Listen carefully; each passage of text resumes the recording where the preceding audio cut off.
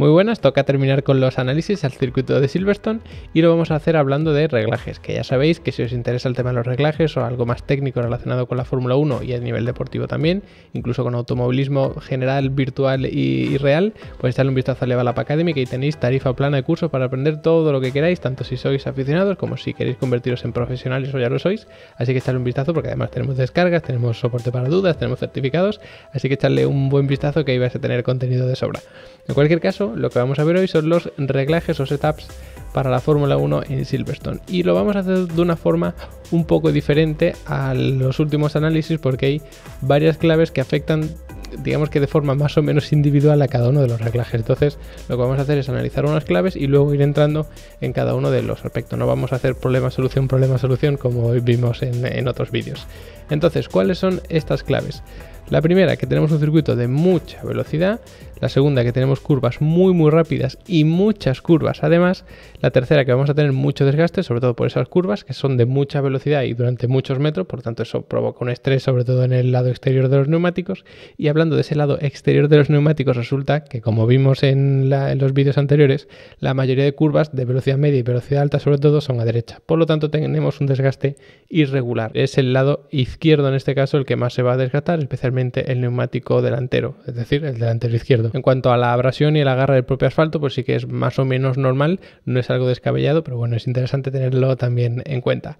Por lo tanto, vista estas claves, pasamos a cada uno de las, eh, bueno, o al menos de los reglajes genéricos más importantes, ¿no? Más llamativo. El primero de ellos, como siempre, la aerodinámica, y aquí se requiere una carga aerodinámica alta. No es extrema, no nos vamos a poner carga aerodinámica de Hungría, ni de Mónaco, ni mucho menos, pero sí que una carga aerodinámica bastante importante, porque como tenemos zonas de muchísima velocidad a un lado y a otro por las curvas, la aerodinámica te ayuda aquí muchísimo. No solo a tomarlas de una forma pues rápida, evidentemente, que no tengas que levantar el pie del acelerador, sino que incluso muchas se hagan a fondo, pero también para controlar el desgaste de los neumáticos. Ojo, porque ya hemos dicho que el circuito es de mucha velocidad, lo que significa que si tienes una eficiencia aerodinámica muy alta, esto te va a ser de gran ayuda. Esto lo que significa es que consigues tener mucha carga aerodinámica a cambio de poco drag relativamente, porque siempre hay mucho drag en esta Fórmula 1. Entonces, los equipos que tienen un coche más eficiente, para conseguir o para aguantar el mismo drag, puedes poner más carga aerodinámica y esa carga aerodinámica te va a servir para tomar las curvas más rápido. Y como estás soportando el mismo drag, vas a poder alcanzar la misma velocidad. Fijaos en este panel una vez más, que es el que os enseñé en los vídeos anteriores, y aquí tenemos un tramo de muchísima velocidad metiendo giro de volante, aquí tenemos un tramo de muchísima velocidad metiendo giro de volante, que todo esto ya lo vimos con el, con el análisis del pilotaje. Aquí también tenemos zona de velocidad media, incluso alta, es decir, de mucha velocidad, metiendo mucho giro de volante, por aquí también. Todo esto desgasta mucho los neumáticos. Y el hecho de que tengamos tantos tramos de alta velocidad, lo que significa es que si tienes menos carga aerodinámica, esta línea va a estar un poquito más arriba, es decir, que vas a ir un poquito más rápido. Pero claro, la cuestión está en que si tú vas a ir más rápido aquí, a cambio de ir más lento aquí, más lento aquí e incluso aquí, que es cuando tomas este tipo de curvas, entonces no te va a salir rentable. La idea es siempre tener esta línea lo más arriba posible, que es la de la velocidad, y eso se consigue con la eficiencia aerodinámica.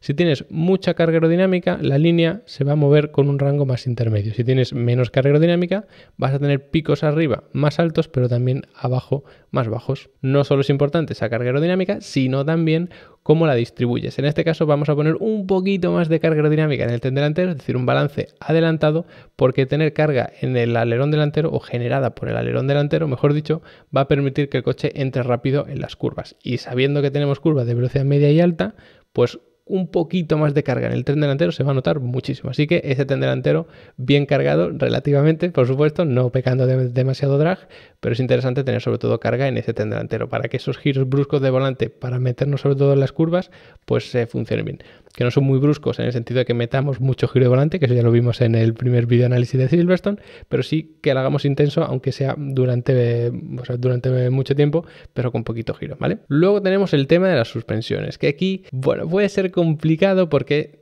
en circuitos como este siempre vamos a intentar poner unas suspensiones lo más rígidas posibles, porque tener una suspensión más rígida va a permitir que el coche esté lo más horizontal posible, tanto de forma em, lateral como de forma longitudinal y es la mejor forma de que funcionen las piezas aerodinámicas. Si tú el coche lo inclinas hacia un lado, aunque sea solo un poquito, pero si, lo inclinas hacia un lado, lo inclinas hacia adelante con el cabeceo, lo inclinas hacia atrás, eso va a afectar mucho a la aerodinámica. Por lo tanto, si tú tienes un coche configurado para que la aerodinámica funcione mucho y muy bien, para fomentar eso también necesitarás unas suspensiones relativamente rígidas que permitan que el coche parezca que vaya sobre raíles constantemente y que ni se balancee ni cabecee demasiado.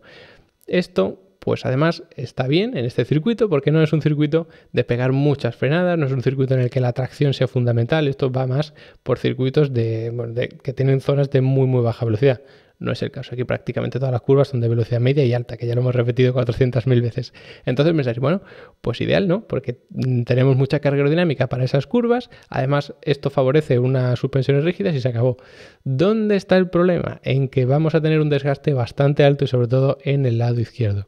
Tener suspensiones rígidas normalmente fomenta ese desgaste, porque bueno, el coche a nivel dinámico funciona de, otra manera, se producen más rebotes, es un poco más intenso y ahí se suele sobrecalentar un poquito más los neumáticos.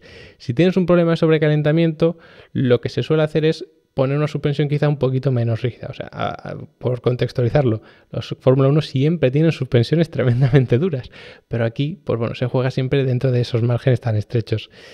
No te puede, o, quizá no te termine de beneficiar de todo, porque eso va a perjudicar a la aerodinámica y tener buena aerodinámica también te favorece a nivel de desgaste, lo reduce porque el, coche pues agarra mejor, patina menos las ruedas, en fin, ruedan, valga la redundancia, de una forma un poco más natural y eso sobrecalienta menos. Entonces, la solución al desgaste quizá no vaya por las suspensiones, porque al final puedes cargarte incluso el balance, que el coche pues le cueste mucho entrar en las curvas, en fin, una serie de, de, cuestiones que no te interesen. Por lo tanto, como norma general, una suspensión bastante rígida, incluso más de lo habitual en estos Fórmula 1, algo que puede ser bueno, por ejemplo, para el tema del porpoising, que tener suspensiones blandas pues lo, favorecen, así que tenerlas duras lo perjudican, por lo tanto es más difícil que aparezca, pero no lo descartaría yo por la tremenda carga aerodinámica que hay y las zonas de alta velocidad, pero bueno, el tema de las suspensiones no debería ser la causa.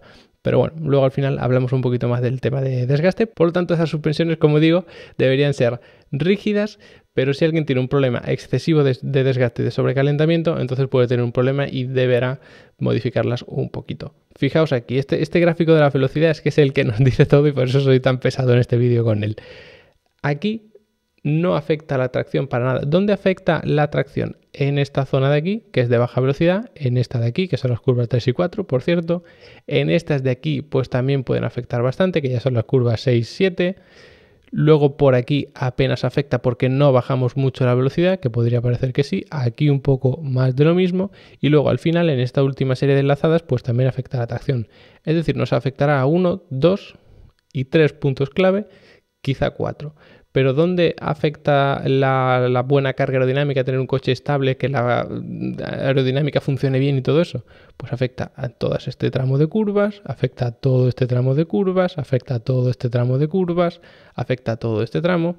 Y eso es mucho más importante, porque si tú sales rápido de aquí, vas a salir rápido hasta este pico. Muy poco. Si sales rápido de aquí, pues sí, vas a ir rápido hasta aquí. Pero si este tramo, por ejemplo, no lo haces del todo rápido, vas a estar todo esto a baja velocidad. Si aquí tienes que reducir mucho la velocidad, vas a hacer todo esto a baja velocidad. Si esto lo haces a baja velocidad y tienes que salir lento, todo esto una vez más a baja velocidad. Por lo tanto, sale mucho más rentable tener mucha carga aerodinámica estable con unas suspensiones rígidas y no favorecer la tracción. Y pasa lo mismo con la frenada, que también bueno, está relacionado porque tú puedes manejar la compresión y la expansión también del eje delantero y del trasero.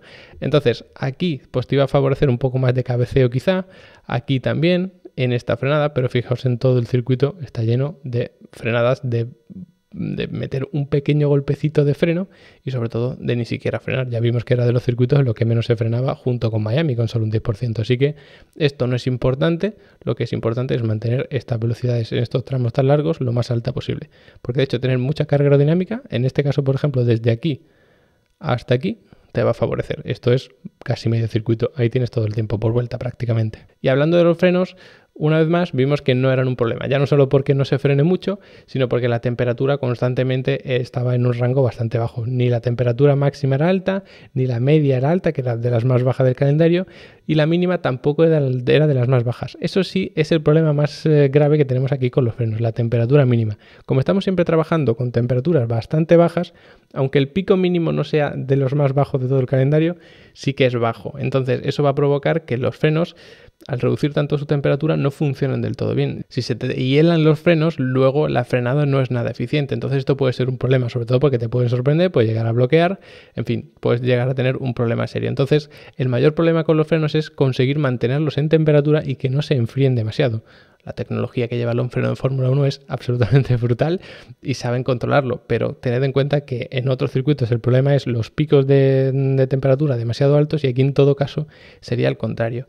Lo bueno de esto es que el aire que normalmente mandas a los conductos de refrigeración de los frenos ahora lo pueden mandar a la carga aerodinámica o a la reducción de drag. En definitiva, aumentar esa eficiencia aerodinámica de la que hablamos antes.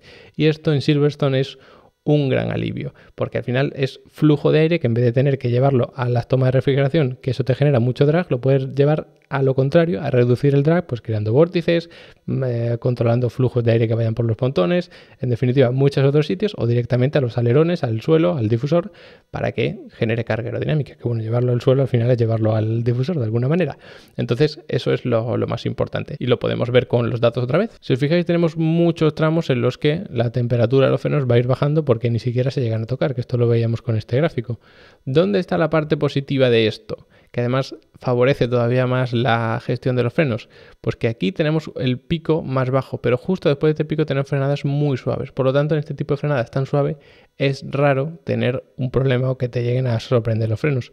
Luego aquí sí que podemos tener quizá el mayor de los problemas, que está la frenada de la curva 15, porque los frenos están muy fríos una vez más, incluso más fríos, y la frenada es medianamente fuerte. Luego, cuando hacemos el resto de frenadas que son más fuertes, como por ejemplo esta o como por ejemplo esta, no están tan tan fríos como en este punto o en este punto. Entonces eso hace que sea todavía más complicado que te lleguen a sorprender. Por otra parte, interesante el balance del freno. Cuánto se frena delante, cuánto se frena detrás.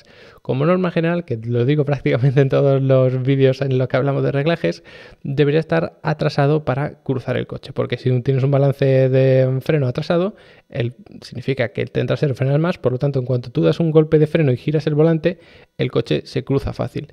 Y sobre todo las series enlazadas desde la 10 hasta la 14, que tú tienes que ir jugando con el acelerador, reduciendo marcha, tocando un poquito el pedal del freno, ahí la idea es que en cuanto tú toques un poquito el freno, el coche se te cruce para estar encarándolo directamente con la curva. Si tú cuando pisas el freno el coche tiende a irse largo, lo tienes todo perdido. Porque claro, no puedes tomar la curva tan rápido, pero cuando frenas el coche se te va hacia afuera vas a tener que frenar, el coche te vaya hacia afuera, vas a tener que frenar más todavía para luego meter más giro de volante, un desastre. Eso no funciona en un circuito como Silverstone. Incluso la frenada de la curva 15 se frena prácticamente toda con el volante girado. La frenada de la curva 6 también era así, que la vimos ayer. Ahí tú necesitas un balance más bien atrasado para frenar menos, pero que el coche se te vaya cruzando. Es decir, tener un comportamiento más bien sobrevirador, que el coche tiende a cruzarse. Si cuando tú pisas el freno girando el volante se te va largo, es verdad que es más estable, es más fácil controlarlo, pero vas a perder muchísimo tiempo y eso en Silverstone no te merece para nada la pena. Y ya para terminar, vamos a hablar del tema de las alineaciones, que es el ángulo que se le da a las ruedas. Hay, varios, pero normalmente nos fijamos sobre todo en la convergencia o divergencia, es decir, la rueda que se abre hacia adelante o se cierra, que normalmente pues se abre de delante, se cierra un poco de detrás, y la caída o camber, que es la rueda que se inclina por la parte superior, digamos que tiende a acercarse entre las ruedas suele ser más acusada en el tren delantero que en el tren trasero. Y aquí es fundamental, porque esa caída, sobre todo, lo que te da es mejor apoyo en curva. Y aquí tenemos tantísimos metros en el que el apoyo de ese neumático es clave que te compensa ponerlo al límite. ¿Qué límite es ese? El que te pone Pirelli. ¿Dónde está el problema de este límite? Que también vas a sobrecalentar mucho la parte interior de la superficie del neumático, que es siempre la que más se sobrecalienta. Sobrecalentamiento, desgaste. Y el desgaste aquí es un problema, como ya hemos visto antes. Así que mucho ojo con llevarlo al extremo, porque si es verdad que te compensa o te favorece mucho la agarre en curva, que es algo fundamental en Silverstone, pero ojo con la degradación una vez más. Y luego tenemos el tema de la convergencia o divergencia, que bueno, en los Fórmula 1 ya digo, suele haber divergencia en el tren delantero y esto también sobrecalienta más los neumáticos. Entonces quizá se reduzca un poco el tema de la divergencia que normalmente pues, se utiliza para controlar su, eh, subviraje o sobreviraje, en fin, el balance del coche al entrar sobre todo en curva.